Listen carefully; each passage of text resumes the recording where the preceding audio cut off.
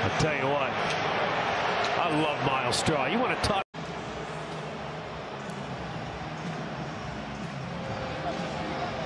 So Straw had some beef with the fans. Climbed up to have a word. What, freeze up, Kwan. What was going on in left field before that when he ran into the wall?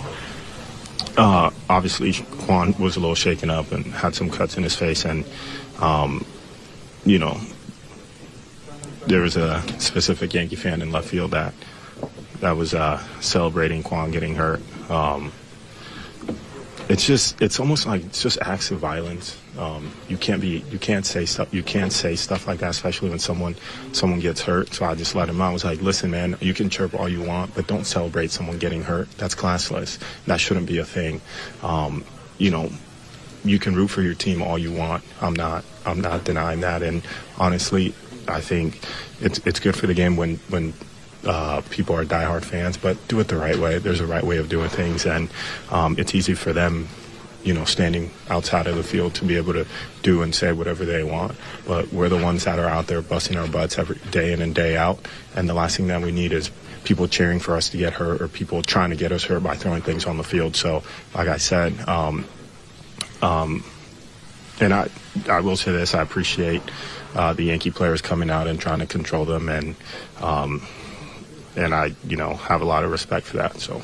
Kwan is the nicest guy on the planet, and that's my teammate, that's my brother, and um, some of the things that were said to him just for me wasn't gonna fly. So, you know, my emotions got to me a little bit, but um, you know, at that point, I feel like as a Yankees fan, you got to be excited for your team. You should be cheering, and you should never prey on someone's. You know, the guy went head first into a hard wall. Um, there's no business for saying the things those guys said to him, and um, you know, it got to me a little bit, and I, you know, I said what I said, and um, I, I, you know, if I were to do it again, I probably would have said the same thing. That's my guy, and uh, you know, at that point, just cheer. You know, be happy your team tied the game up, and uh, be a normal baseball fan, and just enjoy what's going on. Yo, New York Yankees fans, yet again, it is Felix from NYYNews.com. Like always, hola, como estás?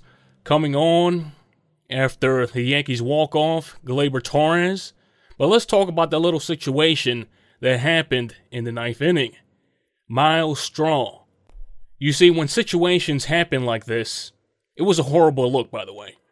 I am not trying to defend the actions of these Yankees fans to get out, out the way.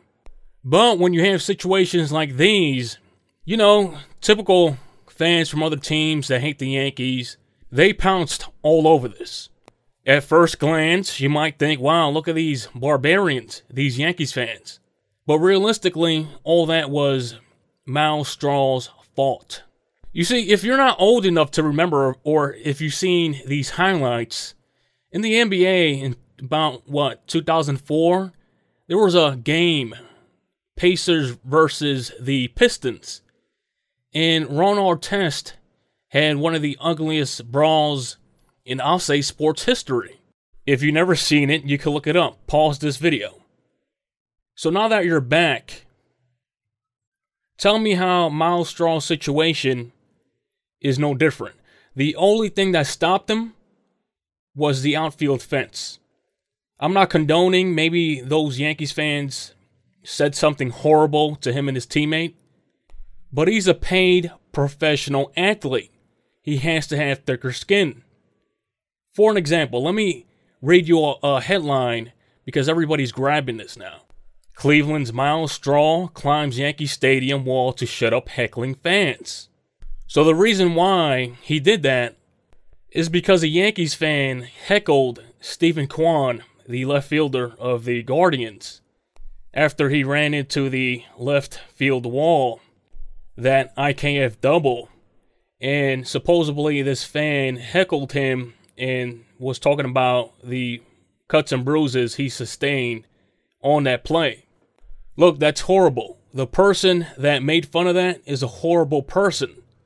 But these are paid professional athletes.